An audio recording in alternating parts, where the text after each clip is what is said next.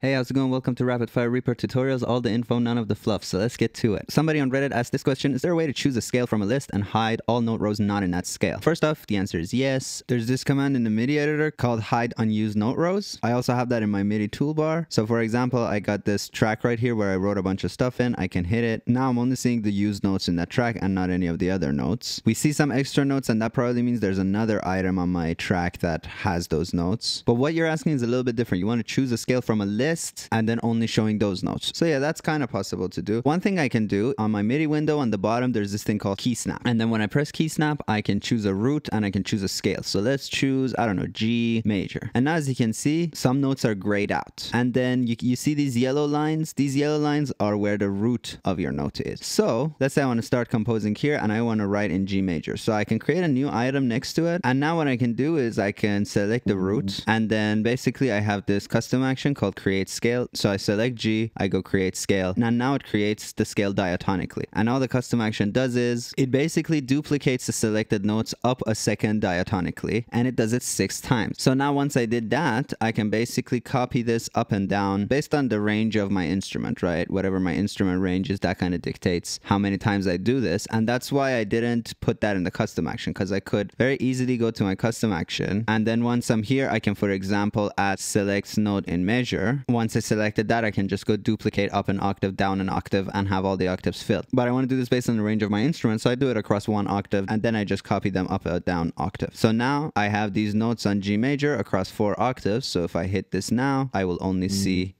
notes that exist in G major. So I can quickly create that based on any scale I want. And I don't even need to choose scales from here, right? I can always disable snap offset and use any kind of custom scale that I want. For example, I want to be in C whole tone, right? So all I do is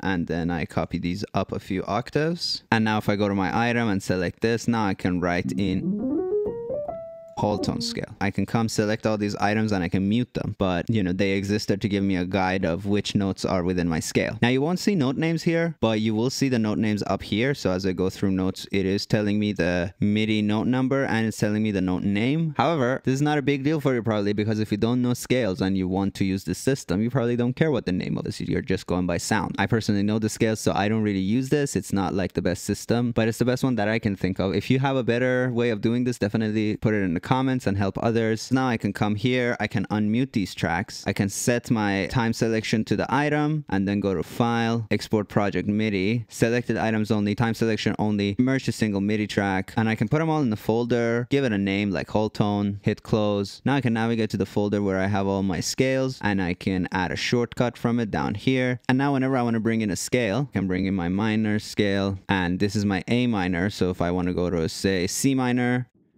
I just move them up to C, copy it up and down a few octaves, and then mute them. And now if I create an item, I can go hide unused, and now I only see everything in C minor and that's that. So it takes a little bit of work. It's not as easy as looking up a list. However, because I'm such a nice guy, I'm gonna write a bunch of scales and they will all be in the key of C and they will all be across one octave. And then I'll have that folder available for download. I'll put the link in the description. And then you have, you know, the major scale, the minor scale, the Dorian scale. Um, I'll put some minor pentatonics. I'll put some interesting Middle Eastern ones in there, uh, just a bunch of scales. And then when you want, you can bring them into your project with the key snap disabled. You can move them up or down as many semitones as you want. Just changing the roots, the scale remains the same. So if I write C Dorian for you and you want to be in E Dorian, you just move it up four semitones. And then all you got to do, put these two actions. So there's one hide unused note rows and then show all note rows. Put these in your toolbar or assign a hotkey to them or what have you. And you can quickly do this, which I think is a decent enough approximation of what you needed to happen. So there you go. If anybody has any questions about MIDI, now is the time to post them in the comments. And then I'll get to your question very soon as well. Bye.